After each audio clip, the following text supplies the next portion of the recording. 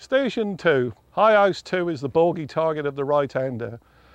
The reason for that is the target, it's their insertion point.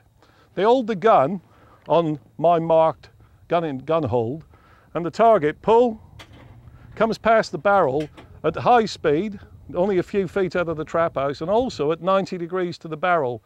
And what it's saying to your back brain is I'm a crosser and I'm a fast crosser. They require lead. So you have excessive gun speed to a decelerating target. And what usually happens is this, pull, and you burst through the target through the excessive gun speed and miss in front. Or your back brain realizes you're in front, puts the brakes on the gun, you stop the gun and miss behind. Your squad members instantly tell you you're behind that. You increase the lead, which increases the, the error. The secret's to move your gun out a little bit further on this bird. Maybe an extra 10 feet. Look back for it, pull, and just simply shoot it. And the reason it becomes so simple is the angle is changed from the first acrosser you observe to a quartering away target that needs little, if any, lead.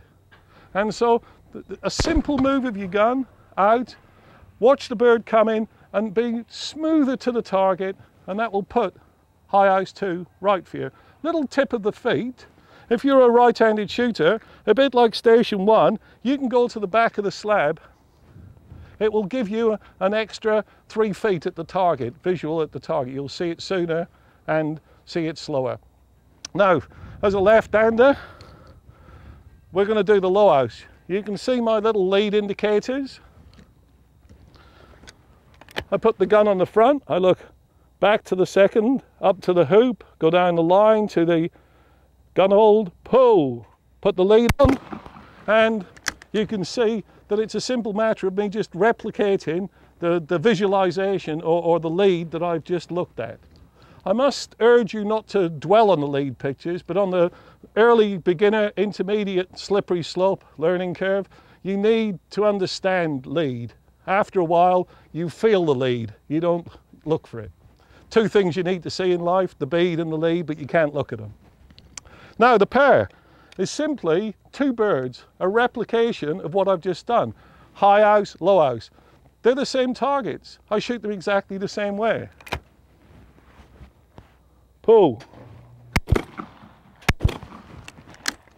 Now, in regard to feet as well, wherever you're shooting the targets, you should always keep your feet the same because you'll get people who'll do this. It'll be high house two, low house two, and now they're going to shoot a pair. There's not enough time to move their feet and it can often be the cause of misses.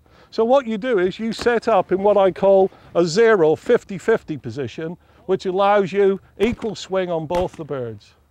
Simplify in house 2. Move your gun out a little bit, make a smoother move to the target, and it's a straightaway, not a crosser. Station 3 next.